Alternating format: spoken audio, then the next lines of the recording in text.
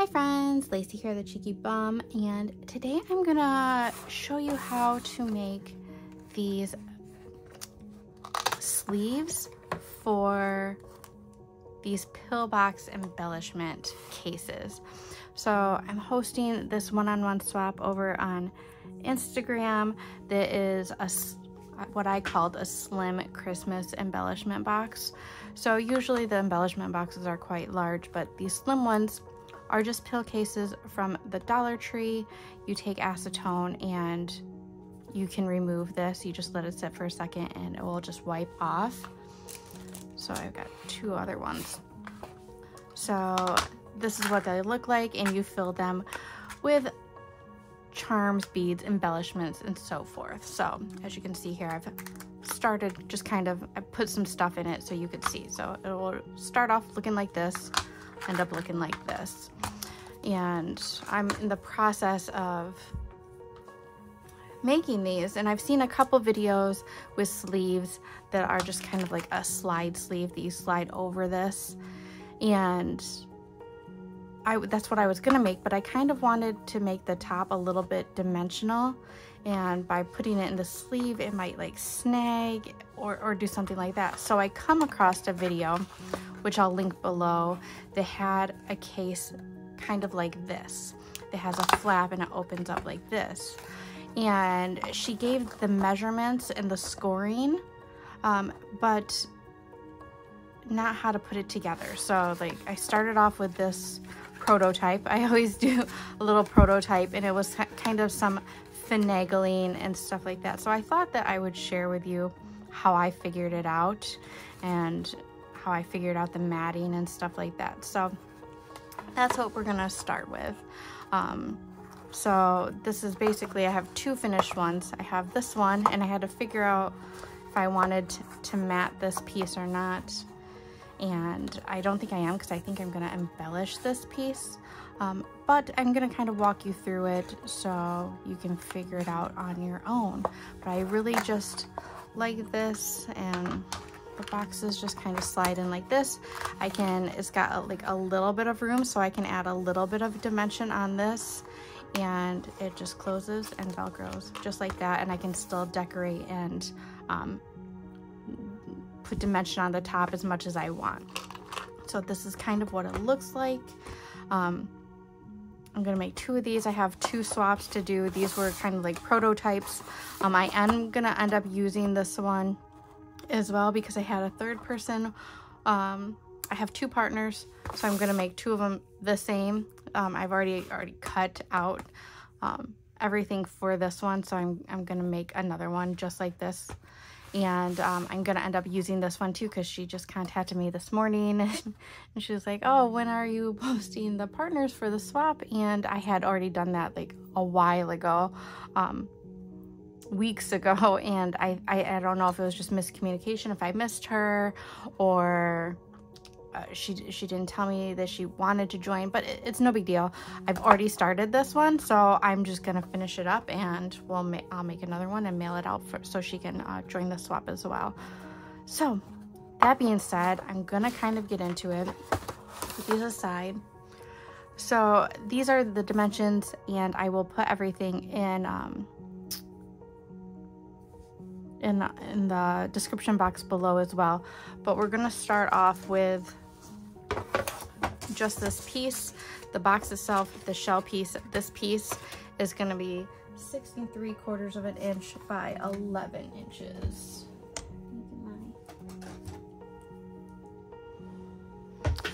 And the scoring, we're gonna take the 11 inch side and we're gonna score it at one and 10.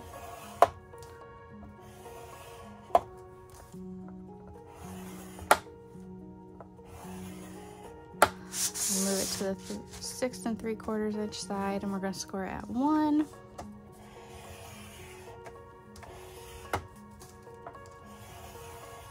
Uh, two and seven eighths. I'm oh, sorry, two and seven eighths.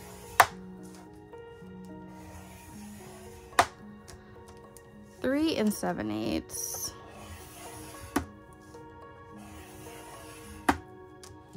And then five and three quarters.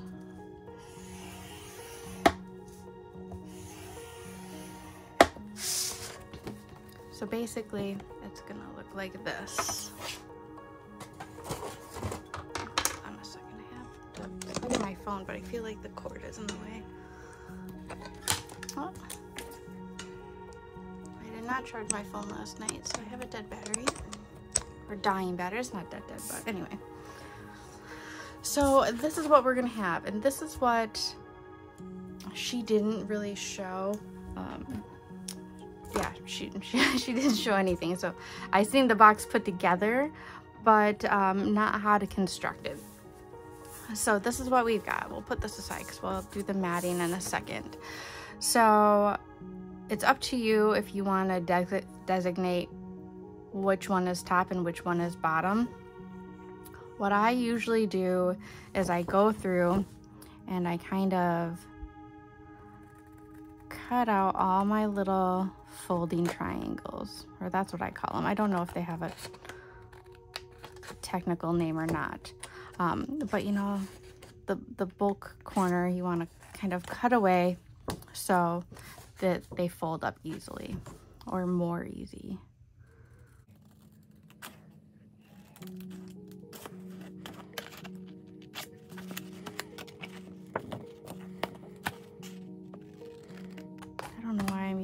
Little scissors. I usually use normal size scissors, but this is what was on my desk and I didn't pull out anything before I started this, so here we go.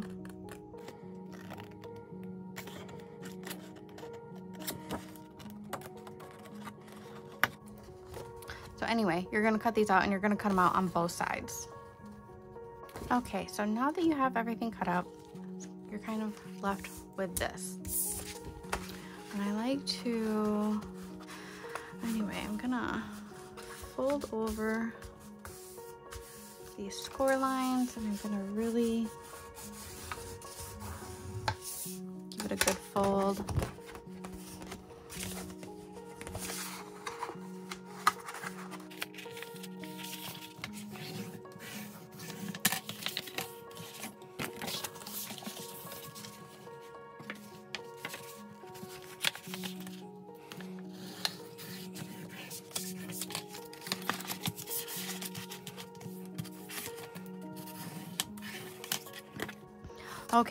Now that you have those folded, I usually just kind of look at things and decide um, what I want the top and the bottom to be.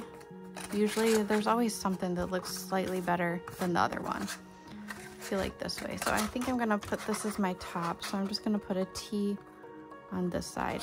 And right now it doesn't really matter, um, but it will if you're super picky.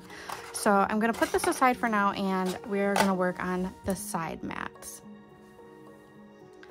All right, this is where it got a little tricky for me. And I suggest doing, if you're gonna do a stripe pattern and you don't care how they line up, that's great. Or if you do a stripe pattern, do something that's not super colorful. Like I decided to use the Candy Brights collection from Recollections, or no, yes, Recollections. It's uh, Michaels this year. And I really liked it because it's so bright and colorful. It has mints and teals and pinks, which I just gravitate towards those colors. So that's what I wanted to do.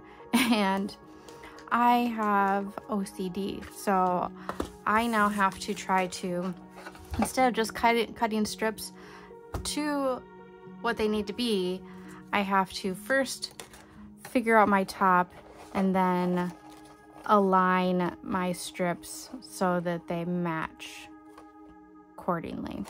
Um, but before we do that, I forgot that we need to do this, this front cut right here. So what I did for this, because she didn't explain this either, um, and there was no measurements on this. So what I did is I figured out where I wanted my top. So this is my front flap.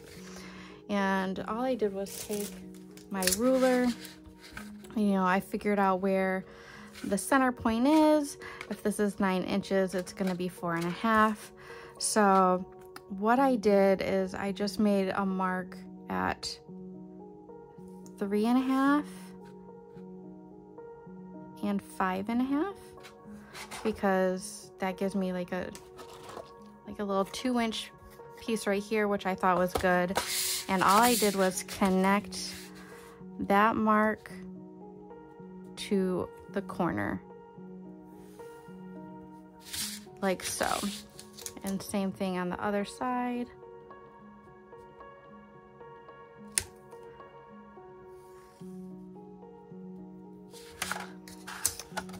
That's basically all I did. And then I'm just gonna cut those out.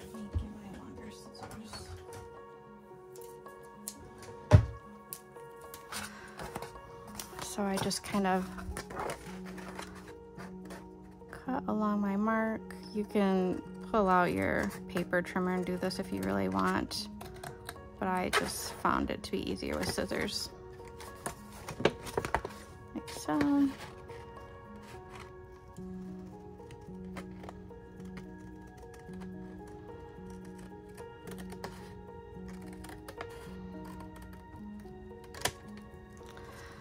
Just like that. And then make sure that you're erasing these because you will be able to see them.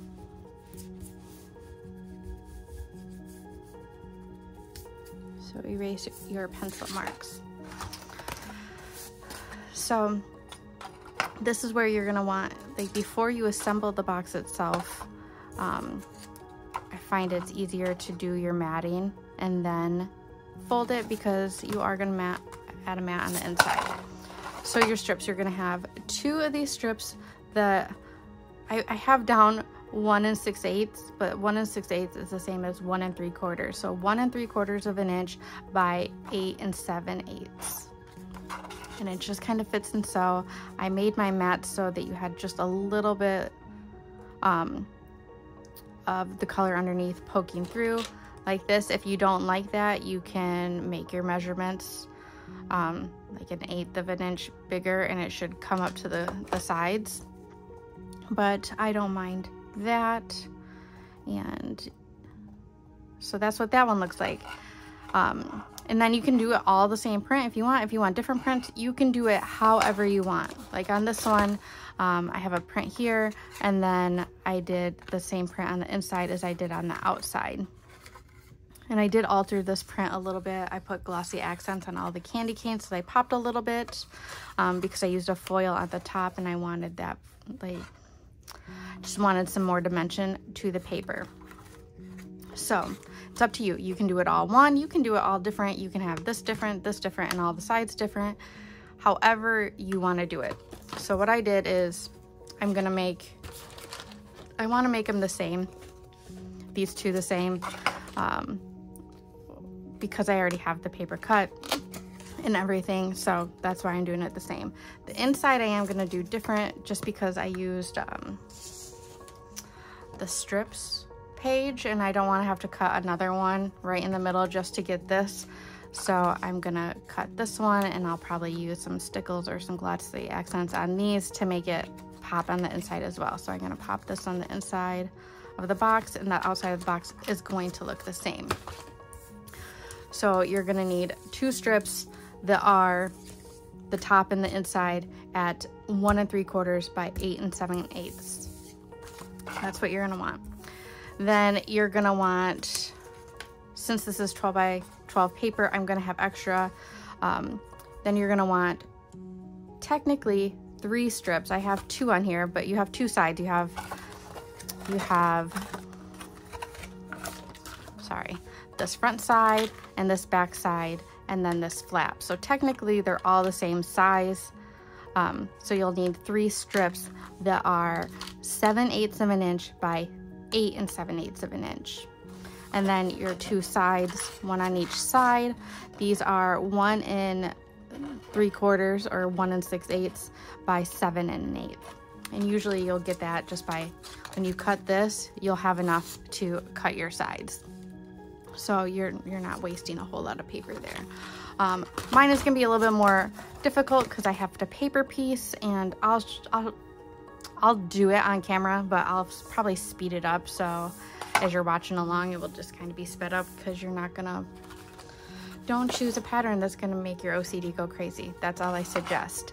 Um, so for this piece, what I do, I think I just kind of laid it out and I I laid it out like this so I wasn't wasting a whole bunch. And I I pulled it up so I would have a little bit of an overlap because I'm gonna want a little bit of the blue poking through. And I just took my pencil and made my marks and cut it. And if it's not perfect, like mine wasn't, I didn't place this on here perfectly, but I'm gonna add embellishments and stuff. I don't think you're really gonna see it, but you can see this is this is not perfect. not perfect by any means. No craft is 100% perfect. Um, if it is gonna make you crazy, then I suggest doing something where you can um, um, you can take ink to the edges um, and that usually blends things in quite nicely, but I didn't want to do that to this one because I didn't like the look of it. I always practice on a piece of scrap paper of doing the edges, but with so much color in this, I just didn't really care for it. Um, definitely play around to it. Um, use uh, pattern paper that is contrasting but similar to your back your base color that usually blends in edges a little bit easier it's up to you or you can leave it blank like this one like this one I don't think I'm gonna do this um, I might do some stamping or some embossing of a stamp on this or maybe I just embellish this but I don't think after doing this one I don't know if I'm to do it on this the flap on this one. And it's mainly just because of the striping. That's it. If I was using a different pattern paper, I probably would just do it. Um, maybe I'll make this one different. I'm not quite sure. We're just going to go with it. Um, but let's add our matting before folding up the box. So I know this is going to be long because I'm talking and I'm sorry. So I am gonna speed this part up, follow along. I'm just gonna glue my matting onto this. It's gonna take me a little bit of time because I'm gonna have to try to match, to line up my stripes. So just bear with me.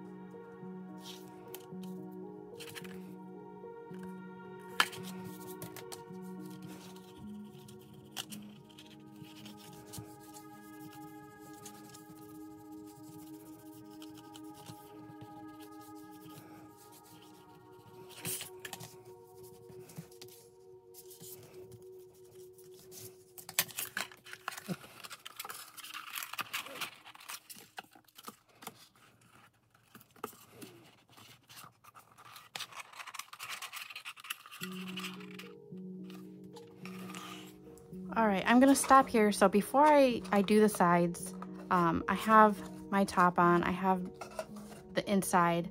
I am gonna put together the box so it's easier for me to line up these stripes. So you're gonna wanna fold in all your flaps like so.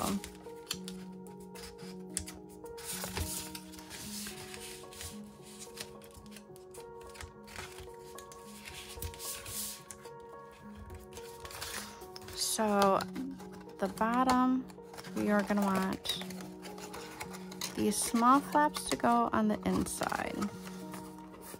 We're gonna fold this back a little bit so it's not in the way. So basically you're just gonna wanna tuck in your ends. You can trim these up if you want, just a little bit. Um, it's not really gonna affect anything. I just don't want them overlapping much. So I'm just gonna trim those off a bit so when I glue it in there, um, see, they'll, they'll meet up nicely and not overlap.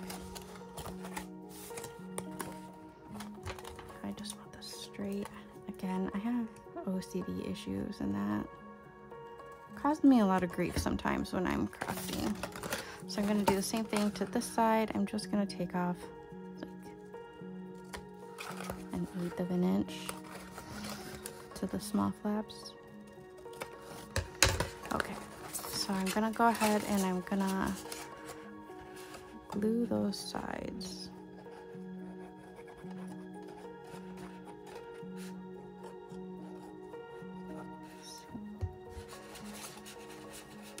I swear every time I try to do a tutorial it turns out like it doesn't turn out as nice as the one I made before. I don't know if I'm nervous. Tutorials are not my favorite thing to do just because it's so much editing. I feel like there's so much pressure. But anyway, so I'm just gonna glue in those edges. And before you start on the other side, just make sure that this is set and good to go, just so it's not gonna come apart on you. So that's what that edge looks like.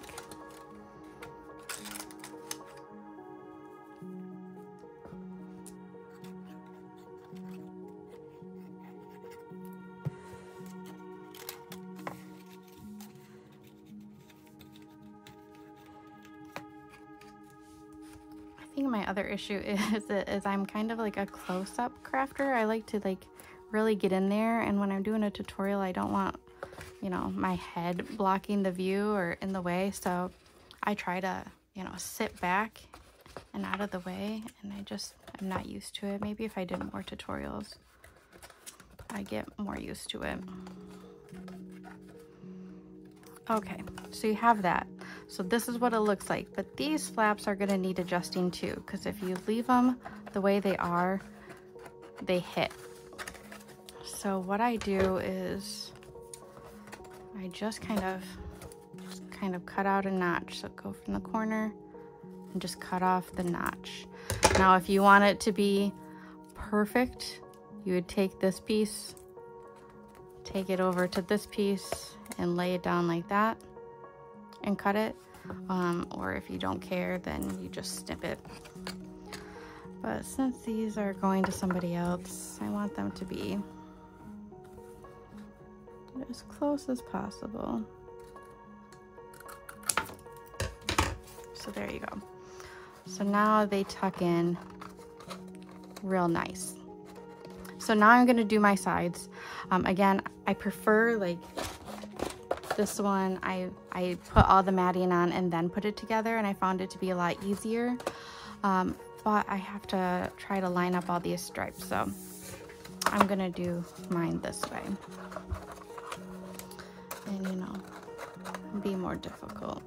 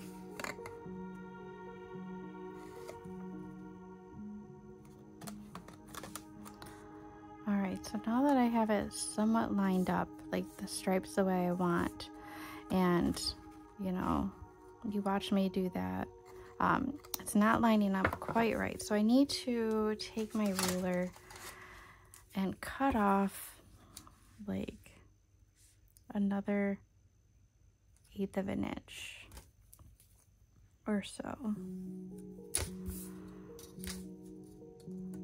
So that I have a little bit of that teal popping through.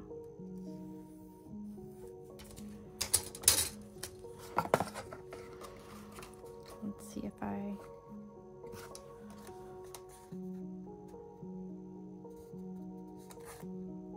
see if I line up the stripes the way I want. Actually, this side needs to have more taken off than this side. See. Let's see if this works.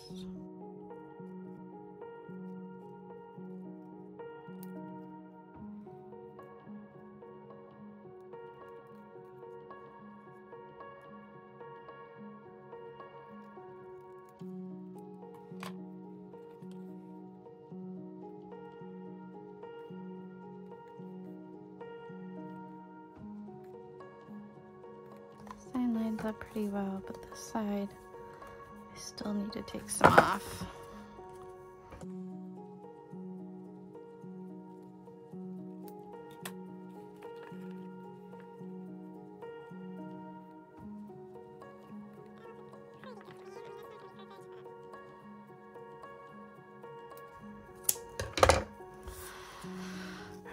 I'm just gonna go ahead and glue it. Anything I don't like, I can hide with embellishments.